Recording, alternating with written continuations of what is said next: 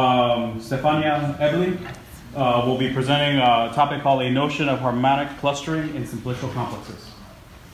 Thank you very much for the introduction. Uh, today I'm going to talk about the notion of harmonic clustering for simplicial complexes. This is a joint work with Gard Spreemann, a former postdoc in our lab at EPFL. Well, as the title suggests, the main object of our work are simplicial complexes. These are higher dimensional versions of graph, which are built not only by using vertices and edges, but they include also triangles, tetrahedra, and so on in higher dimension. In this way, one can encode unfold their interaction between objects. For instance, if we have four actors playing together in a movie, they can be represented by a tetrahedra in the simplicial complex. The main goal of our work was to extend one of the most famous clustering algorithms for vertices of a graph to simplicial complexes.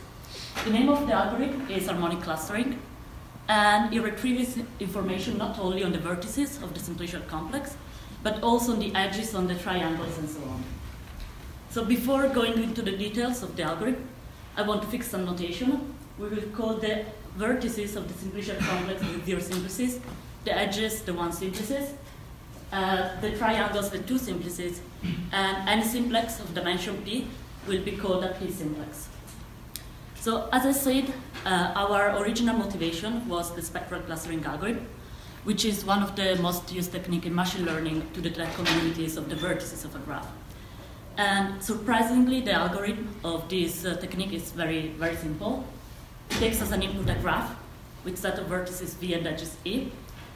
And then the idea is to compute a matrix associated to this graph and use the eigenvectors to project the vertices to a lower dimensional Euclidean space. There one can cluster using any, any method and pull back the cluster on the original graph. So the matrix associated to the graph is called the graph Laplacian, and it's given by the, the difference between the degree matrix and the adjacency matrix of the vertices. One computes the eigenvectors associated to the non-zero eigenvalues of this matrix. In particular, one has to choose k eigenvectors associated to the k smallest non-zero eigenvalues. And one project the vertices of the graph to Rk using these eigenvectors. Then in Rk, one cluster points using any, any method. And finally, one pulls back the cluster on the original graph on the vertices. So let me go through this example again very quickly. So we have this graph. We compute the graph Laplacian associated to this graph and compute the two eigenvectors associated with the two smallest non-zero hmm. eigenvalues to project the vertices into R2 as shown on, on the figure on the right. Then we use k-mean with k equals 2 to find these two communities, and we pull them back on the original graph, and we found the following clusters given by the vertices in, uh, in orange and vertices in blue, which, which detect highly densely connected component of the graph. In fact, the spectral clustering algorithm has a nice mathematical interpretation. The eigenvectors of the graph Laplacian associated to the smallest non-zero eigenvalues detect almost disconnected component of the graph. It's important to stress that in, uh, in general, one discard the eigenvectors associated to the zero eigenvalues because this eigenvector encode information only on the connected component of the graph. And if the graph is already connected, uh, the, the information is just redundant.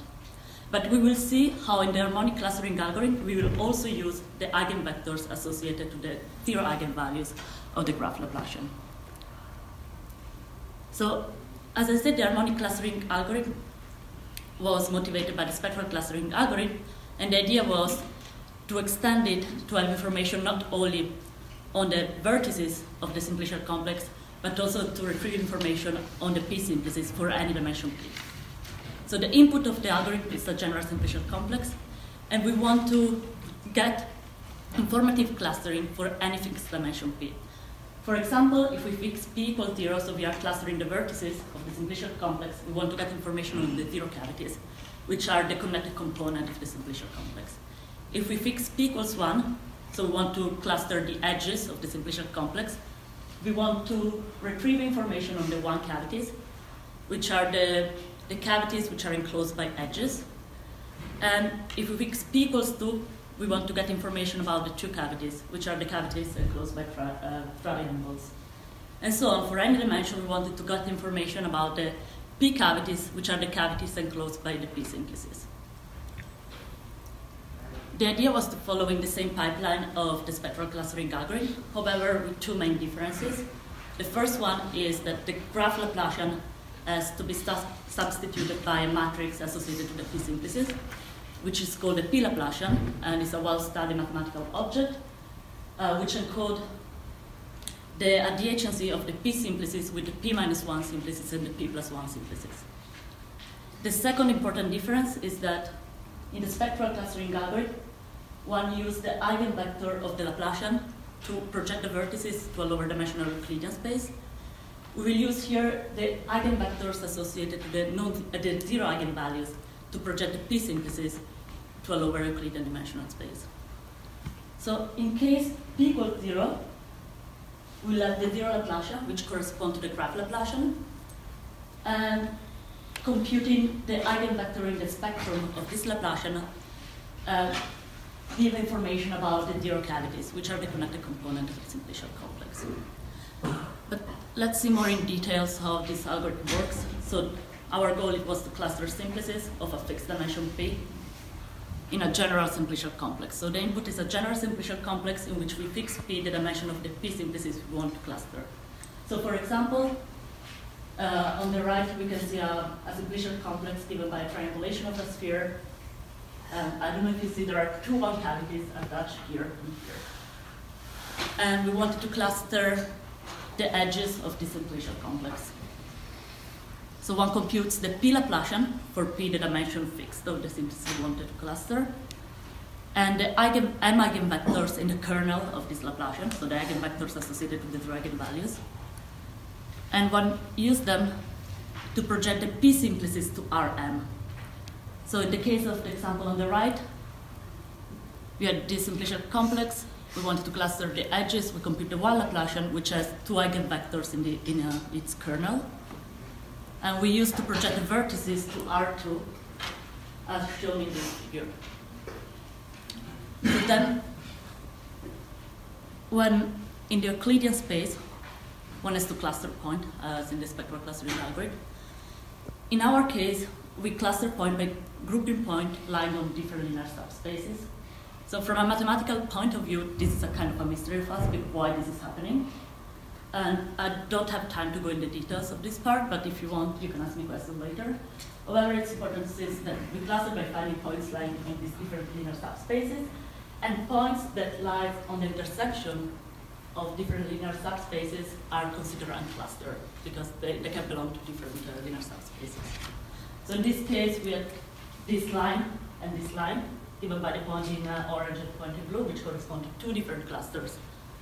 And finally, one pulls back the cluster on the original simplicial complex.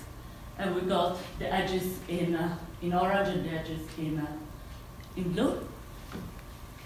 And as I said before, this cluster have a nice mathematical interpretation. They are, they correspond to the one cavities or they detect the one cavities present in our original simplicial complex.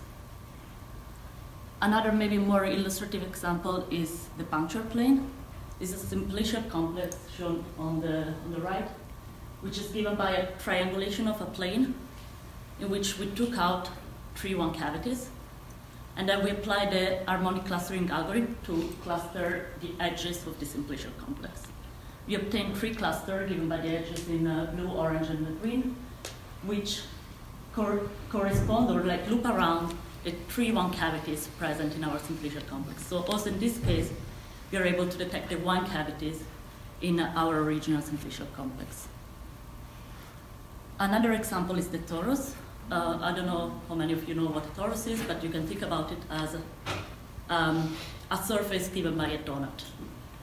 We build a simplicial complex by triangulating the torus, and then also in this case, we wanted to cluster the edges of the simplicial complex. So we applied the harmonic clustering algorithm for p equals 1, and we obtain two clusters given by the edges in blue and the edges in orange which also in this case correspond to the two one cavities present in the torus. The one cavity is looking around like this, and the one cavity is looking around like this. So I showed you three examples in which we applied the harmonic clustering algorithm to two edges of a simplicial complex.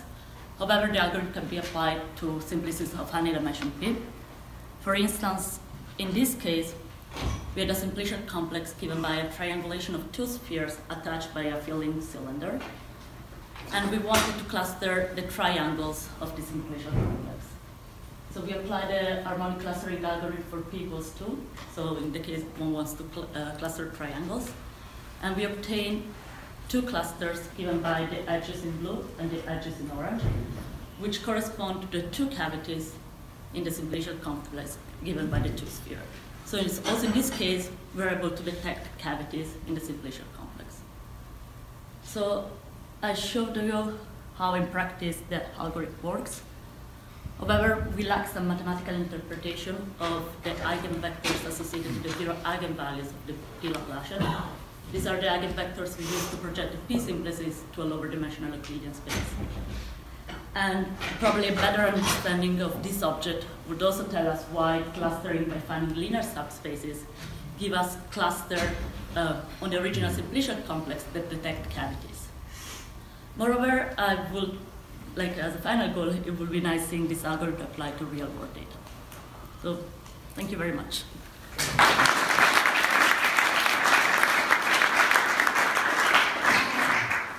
So we have time for a few questions here.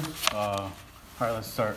So for the graph one, you said that you had to choose the number of clusters, but for your algorithm, it, it suggested? No, usually, okay. Um, so we know that our algorithm detects the number of cavities. Uh, so we, we also we also know that the number of eigenvectors in the there is a correspondence between the number of cavities and the eigenvectors in the kernel of the Laplacian. So we know exactly how many eigenvectors to compute if I just computed the one in the kernel. Uh, the one about, okay, there's a Laplacian, once you, um, the Laplacian is a true length. In that case, there is a no um, zero um, the eigenvectors.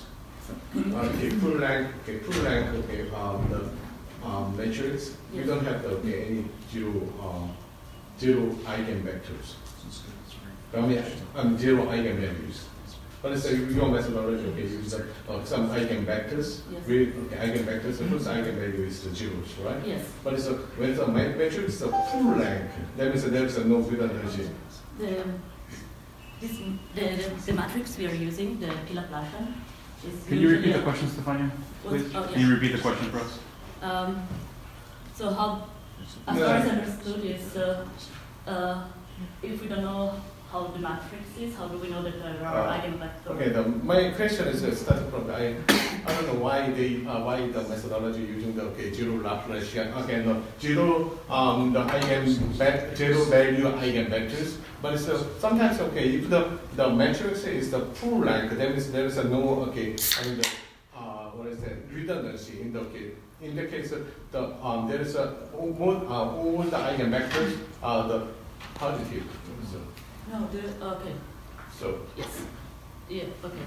In the case of a graph, if a graph is, connected, we know that the Laplacian has one zero eigenvectors for how the Laplacian is constructed.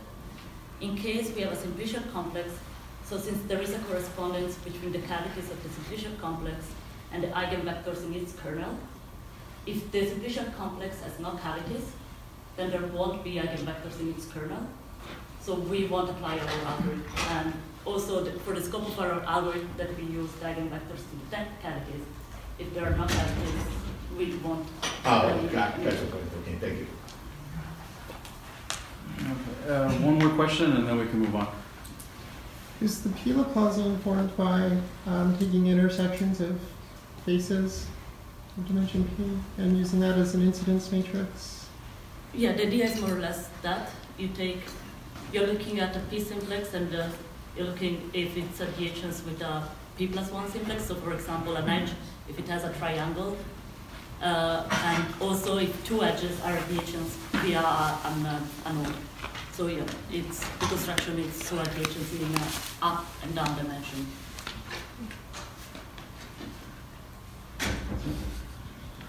Okay, I think we have,